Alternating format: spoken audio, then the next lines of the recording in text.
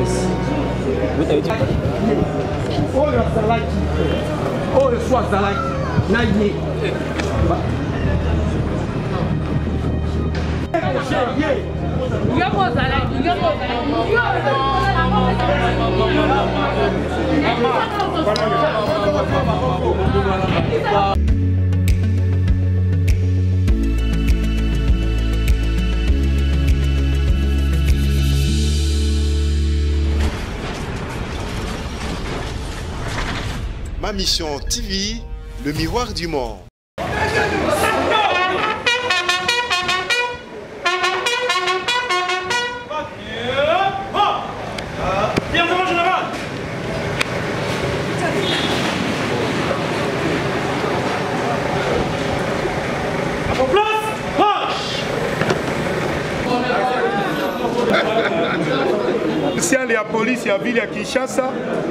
euti kotia maboko na bato oyo nyonso bozomona awa ezali au total 8 bande na 8 bande wana bande moko ezali ya bapolisier ya biso ya département ya renseignement généraux ya commissariat provincial bango bakangami mpo na tracasserie ya bachauffeur mpe population bande oyo mosusu bozomona bapolisier balati bilamba ya la police bande wana ezali ya babandi bango nyonso bazali bapolisier ya légion nationale d'intervention bango basalaka patrouille na ndenge na bango na ndingisa ya bakonzi te kasi na patri wana oyo basalaka nde bayebaka kotambola mpe kobotola population biloko oyo nyonso bakokutana na yo na yango na nzoto bakobotola yango kaka bande oyo towutaki kotangela bino bakombo babomaki ndeko mama moko totangeli bino kombo mama wana na kombo ya Ilombo Itolo Chantal ye avandi na avenue Movenda numero 1 quartier Kimbangu 2 na commune ya Kalamu ye babetaki ye masasi na mokolo ya le 10 janvier 2022 vers 23 heures kaka na mokolo ya crime wana mwana na ye ya mobali na nkombo ya itolo gires ye nde azwaki masasi na lokolo ya gauche bato bazali mwa ebele oyo bazwaki masasi mpe babotolaki bango biloko bavictime bazali wana na mitindo ya mokonzi na biso ya polisi ya vile ya kinshasa bokoyeba kotuna mituna na bavictime ndenge baza wana oyo bavictime bareconnaitre bango mpe basambaki na ntina ya kocharge bango tozali lisusu na bande mosusu oyo enyokoli bakambiste na vile ya kinshasa Bande wana ba mibale kati na bande wana tosei kopesa bino bakombo ezali na moko na kombo ya ya pindukela mbuta george alias kobo ye bakangaki ye mpe akimaki na boloko Kuna na Kikwit, mosusu na nkombo ya Wanji Dimanza Charles alias Mutetela, ye mpe lokola bango misala wana ya kobotolaka bakambiste misolo babetaka masasi soki oresiste mpe babomi yo awa na kinshasa totangeli bino bakrime mwa ebele babomi kambiste na lemba babomi mikolo yuti koleka kaka na fevrier oyo bayibi na kambisi na, na gambela ntango bazolanda ye na bawewa basungi ndeko oyo kambiste bakomi na bandalungwa pembeni ya hôpital oyo babengi sebeko nde bayebaki kobeta masasi lisasi ezwaki wewa mpe wewa wana ndenge tozo presente bino boye azali nzoto ezali na mode groupe oyo basali makama ndenge na ndenge mokonzi na biso ya polisi ya ville ya kinshasa akolandela mpo te bazwa etumbu lolenge bakimaki na prison kuna ya kikwit awa nakanisi tokoveye mpo te bakima te groupe mosusu ezali ya bato oyo kuna Totalisi bino bango bazali ba escro minene bayibaka misolo bazwaka misolo soit na mpesa soit na airtel mani to orange mani isipi bazwa nimero na yo bakoflate yo ke bazali ba, na, na basosiete wana bakosolola na yo mpo bapesa yo ba avantage na misolo ba, ba bonus yo mpe soki omeki kosede opesi bango numero na yo ya code bango bakoyeba koyiba yo mbongo nyonso oyo yo oza nango comme provision na telefone na yo nakanisi grupe mosusu oyo totalisi bino ezali oyo ya policier mpe bandeko civile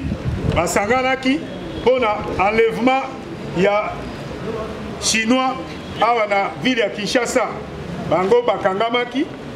ye moko mokonzi na biso ya police ya ville ya Kinshasa na date ya le 11 janvier le 11 février na 10 heures akendaki ko surprendre bango pe batia bango maboko bazali awa pote to présenter population bomona bango liboso toyeba ko defere bango na epai ya ba magistrat po kuna bango pe basala musala mpo te bazwa etumbu oyo esengeli mpo na bango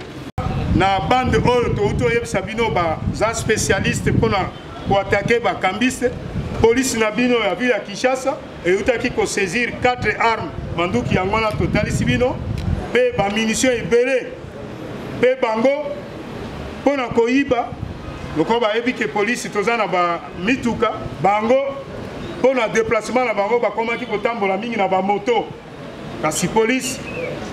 groupe oyo ya groupe de lutte contre la criminalité ya ville ya kinshasa etie bango maboko na bamoto misato oyo bomoni kuna na nsima ezali bamoto oyo bango bazalaki kotambola na yango bisika bazali kosala bacrime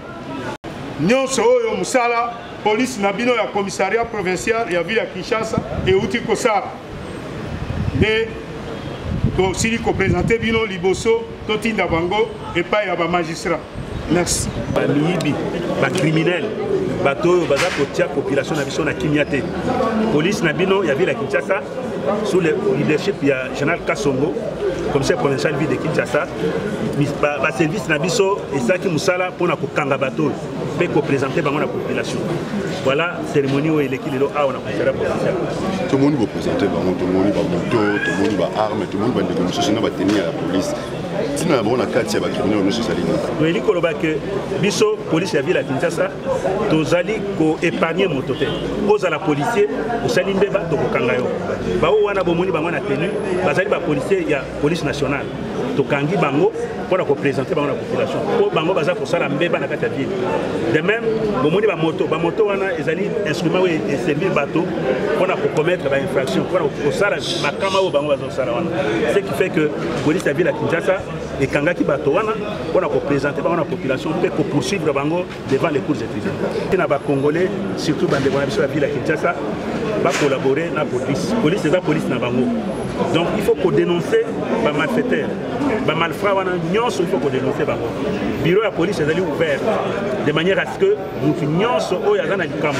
akoya na police ko dénoncer pe police ekolandela bato wana biso tozali 24 sur 24 na disposition ya population na biso ya ville ya Kinshasa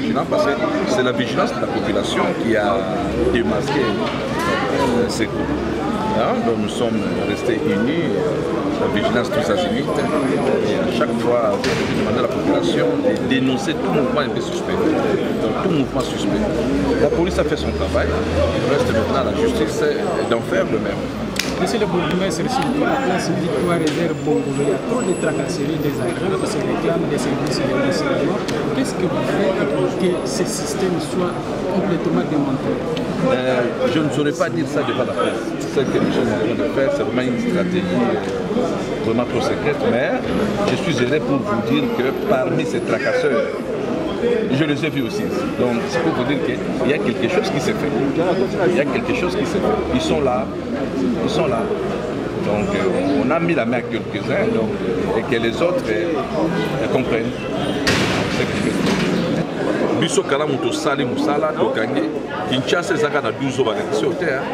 bazali ebele je demande aussi ya mes collègues na bakomanda na bango basala effort ya mali biso tosali mpo tokangi 12 oyo bango mpe basala et aujourd'hui je peux vous dire que tolala kimia kimia ezali tokolala vraiment kimia et aux autres aussi d'en faire dans côté de bas pour que kimia ekota parce que ce n'est pas seulement l'affaire de la police hein. c'est une affaire qui nous Sœurs de tous, biso nyonso tu na mbe na na na patron oyo bakodemantele bareseau wana e totya mpe kimia na mission bapesa biso message noko bana population comme mot de la fin basa confiance na police basa mpe confiance na bino babukumestre message oyo na bana population sécurité eza likambo na biso nyonso tosala na confiance lelo police ekangi les 12 apôtres les 12 apôtres donc na 12 apôtres 12 apôtres bango ye police atye bango maboko donc kutya mpo na la police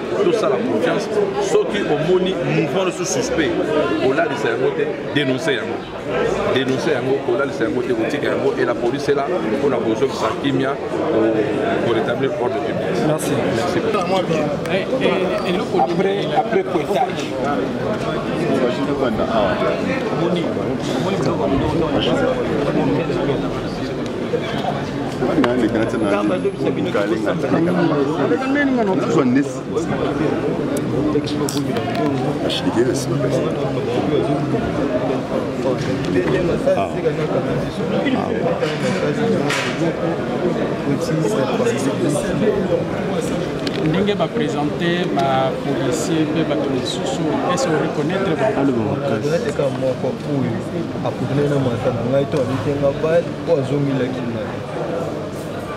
Mais ezalaki na butu oreconnaître ye nde. On a reconnaître ye mpo il azalaki alataki pantalon ya bapolisier na bapulumu esuka eka amena ah, akodaki nini na suka na tatouage. Bazwaki yo combien? nga bazwangi eloko te nga abetengaka masasi bazongi retour mpo asala réaction nde oyo oh, wana oza batatouage abi te botikali tobeti masasi toleka tosali nini tokili basali ndeko yo pusa mwa moke boye po yepakota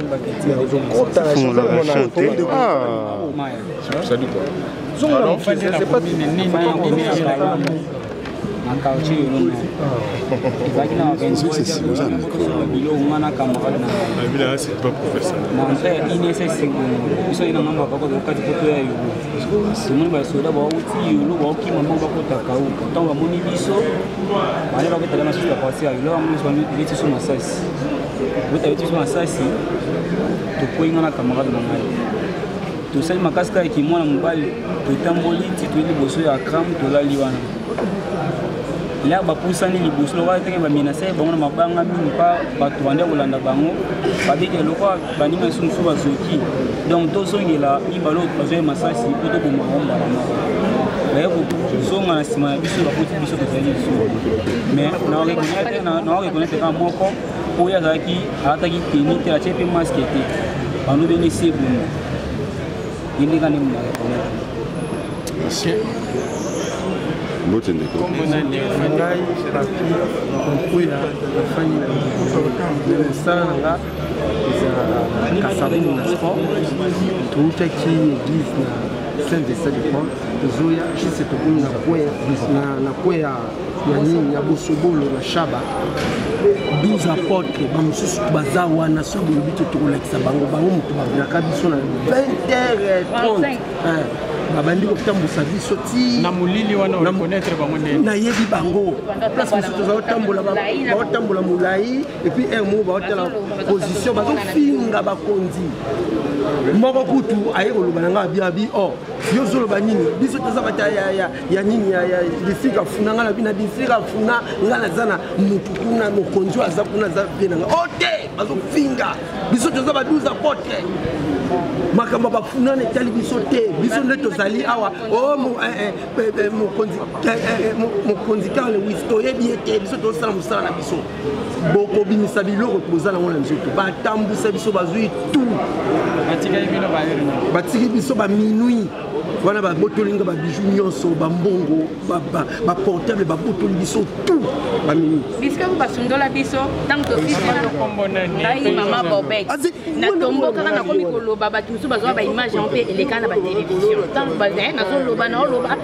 bato baofilme biso nayebi te so bapesa ngo na chaîne nini mai bato balobanga ah, tomona oyo na télévision babrekaka bino ngai na biwi nazalaka totomba victime jour boy jour boy jour boy jour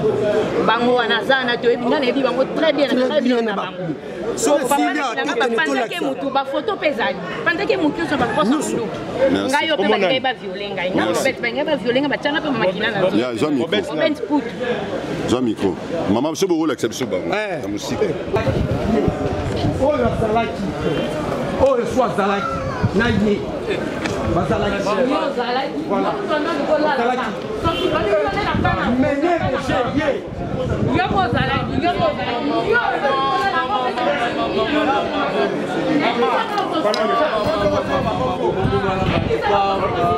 Zela, zela, je ne sais plus, je ne sais plus.